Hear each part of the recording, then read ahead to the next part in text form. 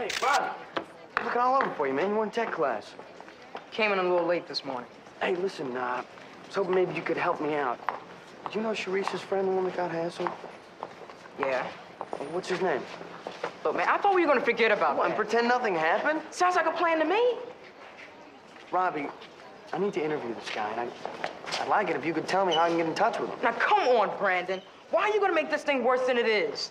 My parents are steamed up enough. You know that. Yeah, I know, but the truth is, this isn't about your parents. This is about breaking a news story. If you want to be our new staff photographer, I suggest you find a way to help me out here. Wow. If you put it that way, I strongly suggest you find yourself a new photographer. Hey, come on, man. What's your problem? My problem is you, man. You are a user, and I'm sick of it.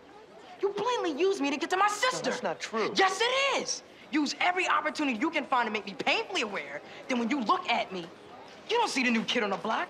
You see the new black kid on the block. And I hate to tell you this, but in my eyes, that doesn't make you a whole hell of a lot different than those dudes at the security patrol. The guy practically called me a racist, and he did call me a user. It's bogus, man. It, it's like pure BS. What, you, you think I use people? You think I'm a racist?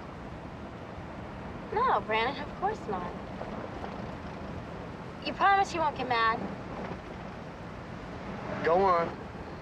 If you didn't think there was a kernel of truth to what he was saying, you probably wouldn't be so angry.